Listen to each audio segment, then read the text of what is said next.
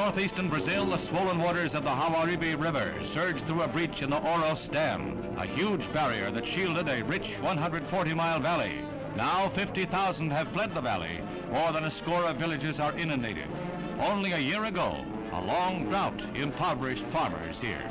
Now, after the heaviest rains in 36 years, and after the flood crest has subsided, the waters still pour through a 300-foot breach in the dam, a disaster whose effects will be felt for many years to come.